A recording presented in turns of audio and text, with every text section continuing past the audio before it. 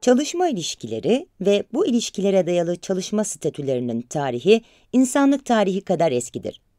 Tarihin hemen her döneminde insan değişik statülerle çalışma hayatında yer almış ancak işçi statüsüyle çalışma hayatında yer alması sanayi devrimiyle birlikte olmuştur. Bu nedenle bugünkü anlamda iş hukukunun temellerinin sanayi devrimiyle birlikte atıldığını söylemek yanlış olmayacaktır.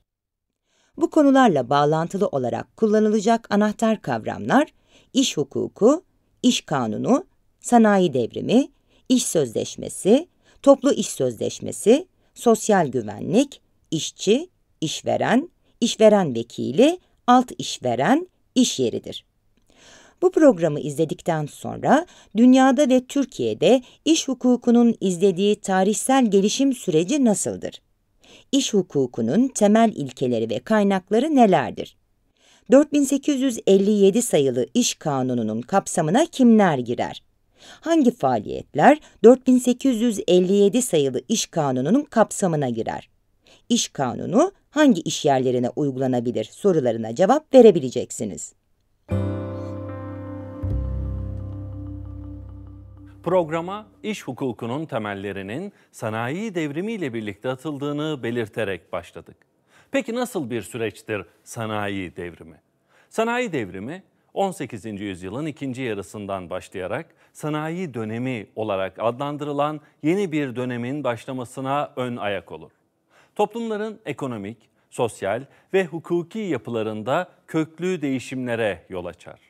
18. yüzyılın ilk olarak buhar, daha sonra da gaz ve elektrik gibi yeni enerji güçlerinin bulunmasına tanıklık eder. Ardından bu enerji güçlerinin uyarlandığı makinalar yapılır. Sanayinin gelişip yaygınlaşmasıyla birlikte bu makinaların kullanıldığı fabrikaların sayıları da giderek çoğalır.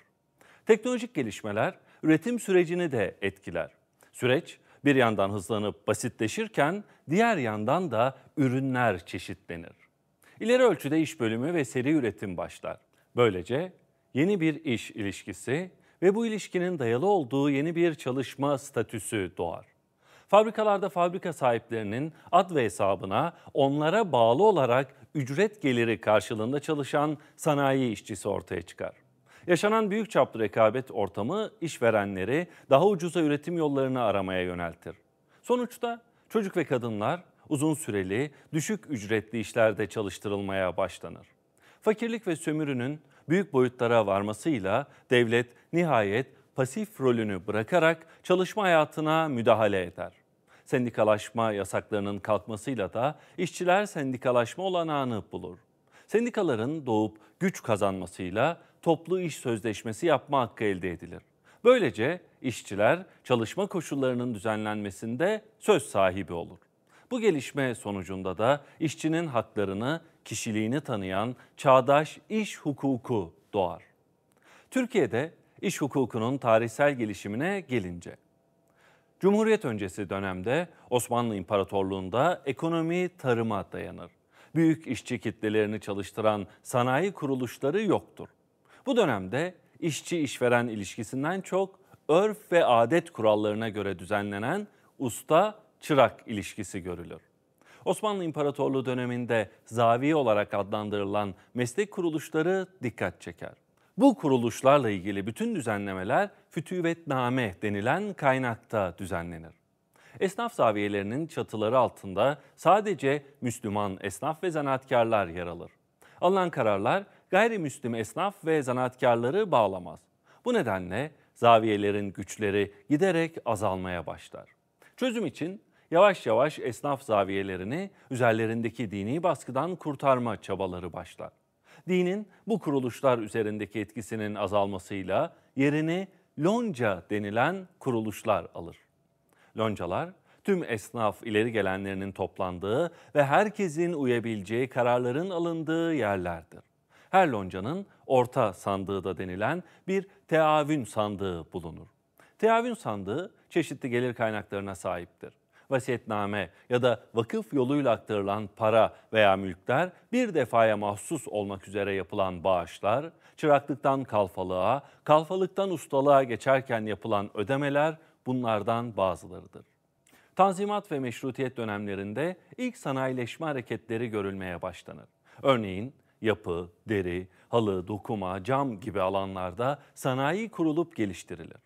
Bunun sonucunda da İstanbul ve Rumeli'de çoğu yabancı sermaye ve ortaklıklar tarafından kurulup işletilen fabrikaların sayısı artar.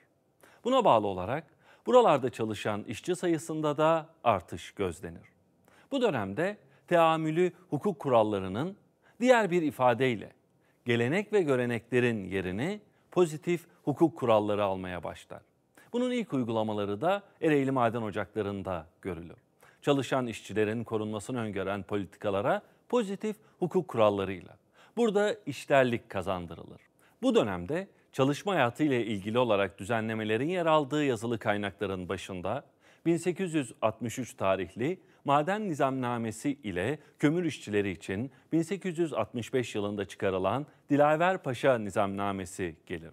Bu nizamnamelerden sonra iş sağlığı ve güvenliği ile ilgili kuralların yer aldığı 1869 tarihli Maadin Nizamnamesi çıkarılır. Dilaver Paşa Nizamnamesi'nin amacı Ereğli Kömür Havzası'nda çalışan işçilerin verimliliğini arttırmaktır. Madenlerin üretim ve işletmesiyle ilgili kuralları düzenleyen nizamname, çalışma koşulları ile ilgili kurallara dağınık bir şekilde yer verir. Buna karşılık özellikle iş sağlığı ve güvenliği gibi temel konularda hiçbir kural içermez. Maden nizamnamesinin amacı ekonomiktir. Bu nizamnamede maden ocaklarında çalışan işçilerin verimliliğini arttırmak ve Dilaver Paşa nizamnamesinin eksik yönlerini tamamlamak amacıyla çıkarılır. 1877 yılında çıkartılan Mecelle-i Ahkam Adliye'de ise çalışma hayatını düzenleyen bazı hükümlere yer verildiği görülür. Ülkemizin ilk medeni kanunu olan Mecelle'de çalışma ilişkileri insan kirası başlığı altındaki hükümlerle düzenlenmiş ve işçi nefsini kiraya veren kimse olarak tanımlanır. Türk iş hukuku tarihçesi içinde önemli bir olay. 1920 yılında kurulan Türkiye Büyük Millet Meclisi'nin henüz Cumhuriyet kurulmadan 1921 yılında çıkardığı 114 sayılı kanundur. Zonguldak ve Ereğli Havzai Fahmiyesi'nde mevcut kömür tozlarının amele menafi umumiyesine olarak fürühtuhuna dair kanun, Zonguldak ve Ereğli Kömür Havzası'nda kömür üretiminde sağlanan tozların açık arttırma suretiyle satılarak bedelinin işçilerin yararına kullanılmak üzere Ziraat Bankası'na yatırılmasını öngörmektedir. 1921 tarihinde Ereğli kömür işçilerinin yaşama ve çalışma koşullarını düzenlemek amacıyla 151 sayılı Ereğli ve Zonguldak Havzai Fahmiyesi maden amelesinin hukukuna müteallik kanun çıkarılır. Uygulama alanı Ereğli Havzası'yla sınırlı olan kanun, bireysel iş ilişkilerine yönelik koruyucu kurallar yanında sosyal sigortalarla ilgili bazı kurallara da yer vermiştir. Ülkemizde ilk askeri ücret uygulamasına da bu kanunda rastlanır. Cumhuriyetin ilanından sonra iş hukuku alanında da bir takım kanunların oluşturulması çalışmalarına başlanır. 1936 yılında kabul edilen 3008 sayılı iş kanunu Türk iş hukukunun en önemli belgelerindendir. 3008 sayılı iş kanunu 30 yıl uygulanır. Duyulan ihtiyaç üzerine çıkarılan 931 sayılı iş kanunu ise yaklaşık 3 yıl uygulamada kalır. 931 sayılı kanunun Anayasa Mahkemesi tarafından 1971 yılında şekil yönünden iptal edilmesiyle 1475 sayılı iş kanunu yürürlüğe girer. Çalışma hayatında yaşanan dönüşümle birlikte 2003 yılında 4857 sayılı iş kanunu çıkarılır. 1982 Anayasası da 1961 Anayasası gibi sosyal haklara geniş ölçüde yer verir. 1982 ve 1983 yıllarında çıkarılan yasaların ardından 2012 tarihinde 6356 sayılı Sendikalar ve Toplu İş Sözleşmesi Kanunu kabul edilir. Çalışanları bağımlı çalışanlar ve bağımsız çalışanlar olarak iki gruba ayırabiliriz. İş hukuku bağımlı çalışanlardan sadece işçileri ele alır ve bunların işverenle olan ilişkilerini düzenler. Bağımlı olarak çalışanlar grubuna işçilerden başka memurlar da girer. Memurların durumu ise idare hukukunda düzenleme altına alınır. Bu bağlamda iş hukuku bağımlı çalışma olgusunu düzenleyen özel bir hukuk dalı olarak kabul edilebilir. Buradaki bağımlı çalışmadan kastedilen başkasının iş organizasyonuna katılarak ve başkasınca belirlenen bir şekilde iş görmedir. İş hukukunun önemli bir niteliği de sadece işçi işveren değil, işçi işveren devlet ilişkilerinin düzenlenmesinde de kendini göstermesidir. Ayrıca tarafların her birinin üye olabildiği örgütler de iş hukukuna konu olur. Bütün bu açıklamaların ışığında iş hukuku, iş sözleşmesine bağlı olarak çalışanlarla, çalıştıranlar ve bunların örgütleriyle devlet arasındaki ilişkileri düzenleyen kurallar bütünüdür. Genel bir yaklaşımla iş hukuku iki alt kola ayrılır. Bunlar bireysel iş hukuku ve toplu iş hukukudur. Bireysel iş hukuku tek işçiyle tek işveren arasında ferden kurulan iş ilişkilerini konu alır.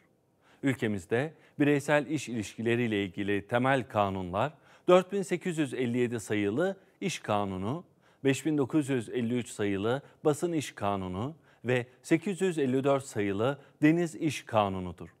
Toplu iş hukuku ise işçi ve işverenlerin örgütleri, bu örgütlerin birbirleri ve devletle olan ilişkileri, bu örgütlerin faaliyetleri, toplu iş sözleşmeleri, toplu iş uyuşmazlıkları ve bunların çözüm yolları gibi konuları ele alır.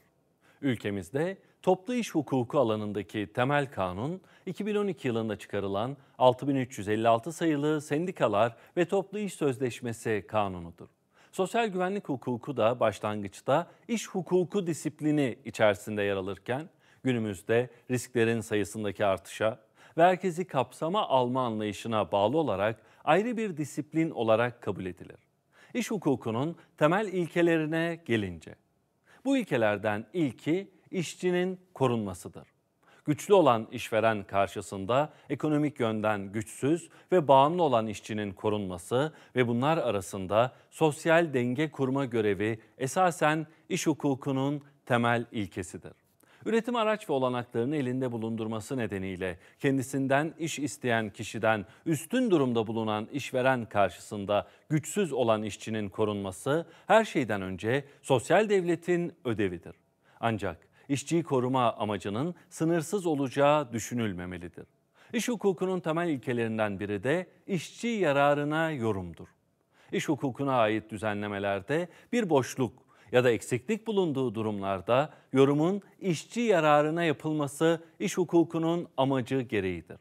Ancak bir konu işçinin aleyhine de olsa kanunda netlikle düzenlenmişse işçi lehine yorumla kanunu göz ardı etmek mümkün değildir.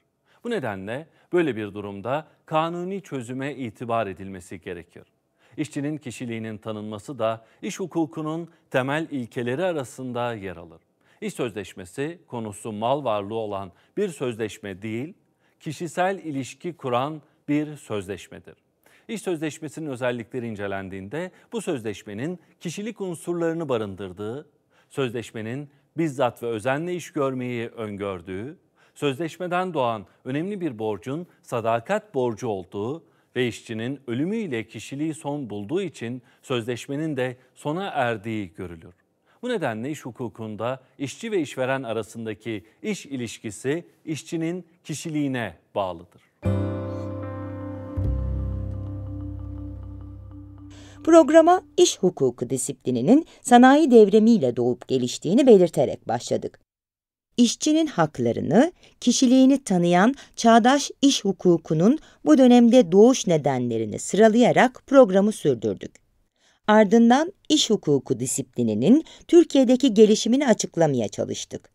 İş hukukunun konusu ve temel ilkeleri hakkındaki açıklamalarımızla programı tamamladık. Konuyla ilgili daha ayrıntılı bilgi, İş ve Sosyal Güvenlik Hukuku ders kitabının birinci ünitesinde yer almaktadır. Thank you.